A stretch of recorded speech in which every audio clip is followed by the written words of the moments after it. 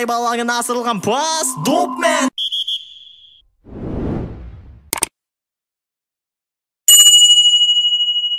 ассалаумағалейкум ардақты ағайын алдарыңызда бұрыштама каналы солтүстік македония мен қазақстан арасындағы жолдастық кездесу өткен болатын. Сонымен назар аударамыз. Алексей Щеткина. Перед ним один соперник. Щеткин смещается, бьет по ұлттық құрамамыз қарымта шабуылға шыққан еді бірақ сәтсіз болды. Сөйтіп өздеріне қарымта шабуылды еншілеп алды.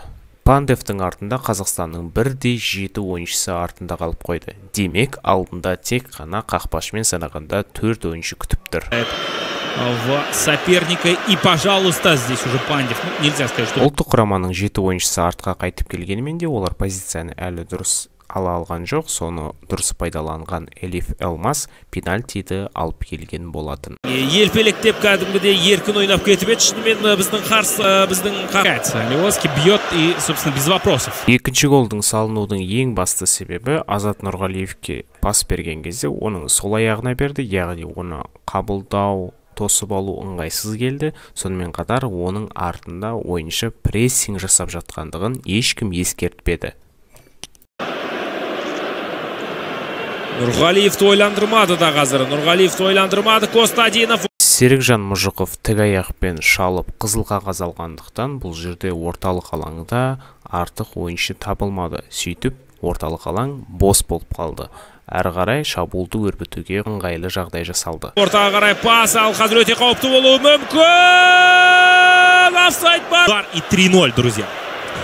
Подача на не себепті ұзын бойлы македония ойыншысын қысқа бойлы ғафуржан сүйенбаев ұстап тұр. Ол бірінші сұрақ егер бұрыштама кезінде аймақты бөліп ойнайтын болсақ сол аймаққа сергей малый жауап беретін болса ол бұл жерде үлкен қателік жіберді.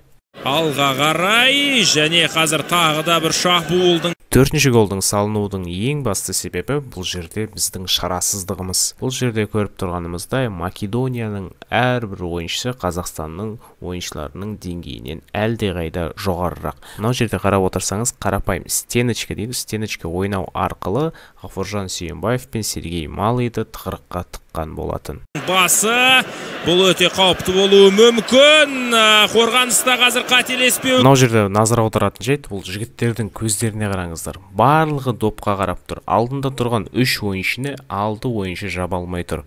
Не деген сұмдық жігіттер? Мбаева на замахе дальше Э, вновь на ближний тут Марочкин не смог остановить. Сонымен ойын жайлы жалпы қысқаша шолу жасайтын болсақ бұл жолдастық кездесу. Ол нені білдіреді? Ол ешқандай турнирлік мақсатты көздемейтін ойын. Құрам мынандай болды. Покатилов 28 жас. Еркін тапалов 27 жас. Марочкин 30 жас. Малый 30 бейсебеков 28 валиулин 26 жаста. Жартылай қорғаушылар. Қуат 28 жаста. Мұжықов 31 жаста. Тағы берген 30 жаста. Нұрғалиев 34 жаста. Щеткин 30 жаста. Талғат маруаұлы байсуфинов ойыннан алдын былай деген болатын. Біз үшін де еуропа чемпионатында өнер көрсететін командаға қарсы ойнау үлкен тәжірибе болмақ деген болатын.